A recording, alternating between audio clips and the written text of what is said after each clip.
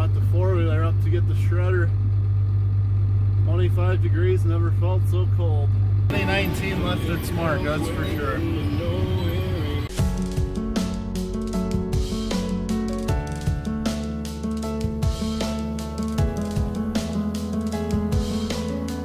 Friday morning guys, uh, welcome back to the channel. Uh, today we're picking our corn test plot and we're pouring some concrete here at my dad's. Not sure which one I'll be doing today, but stay tuned and uh, we'll see uh, how the day goes here. About 25 degrees here. I got the tractor warming up. We go pull out some gravity wagons and uh, get ready for the day.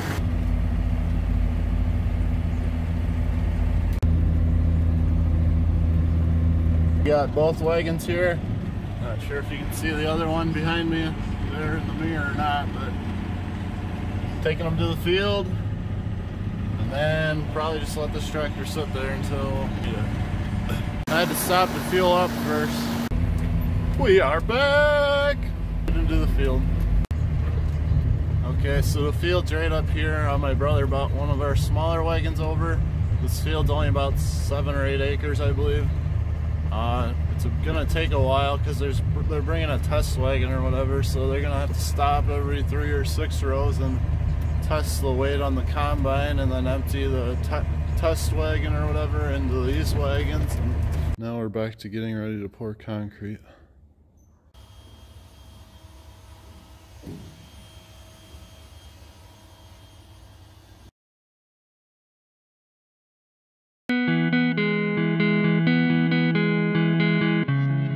They got the uh, test plot all picked yesterday. The combine's just sitting in the field there.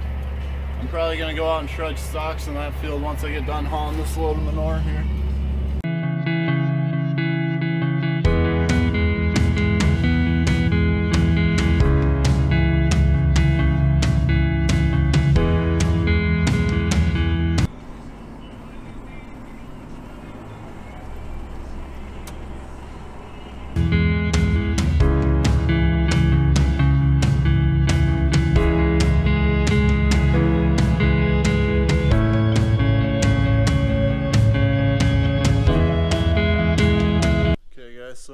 Shed.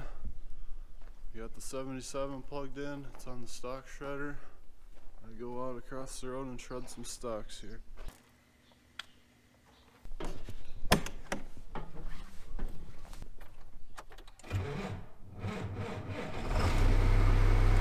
Alright, we got it started barely. It warm up here for a little bit. So this 7700 is the uh, tractor that you've seen on it was on the merger in one of my other videos. Uh, we use it to plant corn, and that's really about it. Between planting corn, the stalk shredder, and the merger, this tractor stays pretty busy. We got the uh, narrow tires on it, so that's why we use it for all those uh,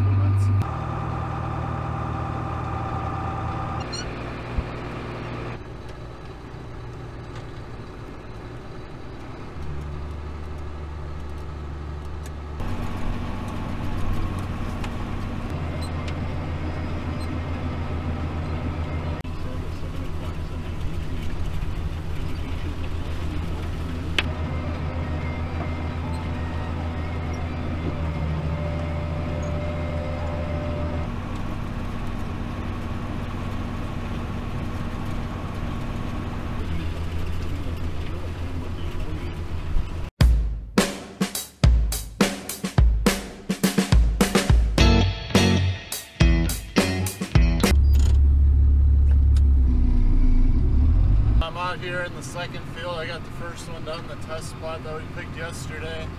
Uh, this field out here is actually a uh, field that we uh, chopped some snaplage in probably about three or four weeks ago. So there's we got a lot of snow and rain like off and on.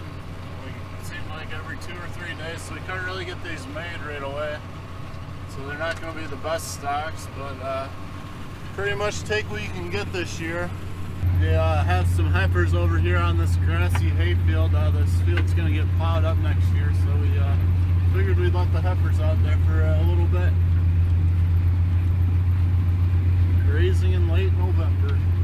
One thing that I should have mentioned earlier in this video is uh, when we shred these stalks, we're putting them right in a windrow. So what that will do is, uh, well this way we won't have to uh, run a rake across it and drag all that extra mud and dirt into the windrow. you We always figure we're better off to uh, put it in a windrow and wait an extra day for it to dry out, extra day or two. And then we'll uh, come through with the baler and just bale them up. So we won't have to rake it this way. Yeah, you, you leave a little extra stalks in the field, but uh, I guess the, uh, I don't know, we'd, we'd rather just uh, do it this way and not have to deal with all the extra wear and tear on the uh, equipment.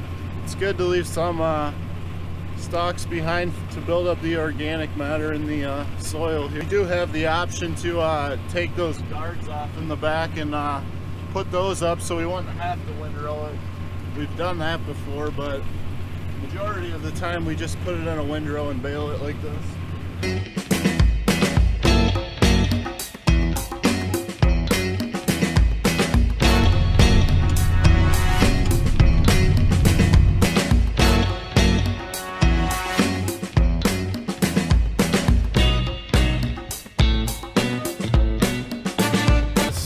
Got the uh, our big tractor and our disc stuck about right here.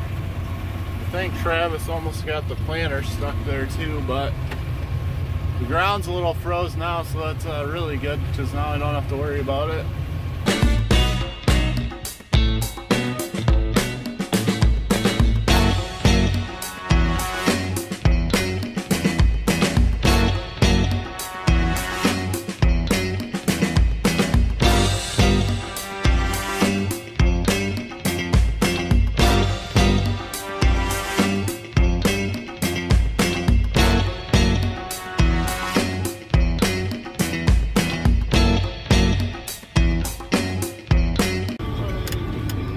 Kind of got a wet spot here. There's a lot of ruts, so I'm going to go right around it kind of take it at an angle.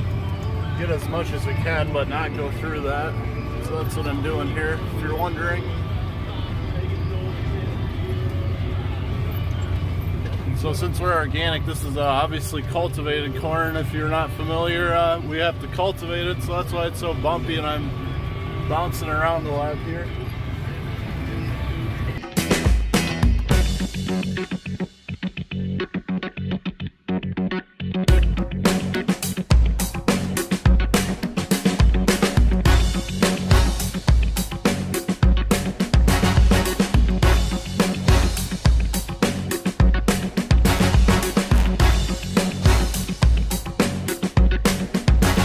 Had a row of shame. Wasn't really too big of a deal since I was uh, back here at the uh, bottom of the field anyways. Field done and there's another field over here on the other side, left side of these trees. It's kind of a circle field. I got that done also. Uh, I got one more field across the road to do.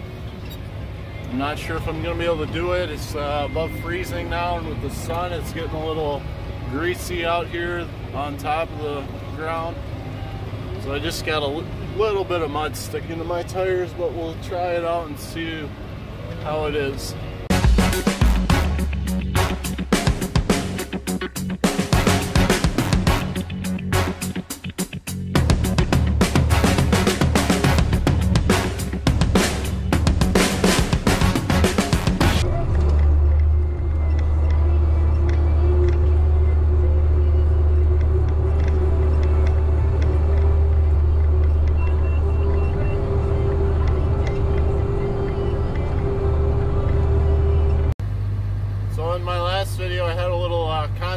Who could uh, guess the hours on the skid steer the closest. And uh, my buddy from uh, short course that I went to school with up in UW-Madison, Case Hopeland, uh, was the closest to 6,000 and 3,000.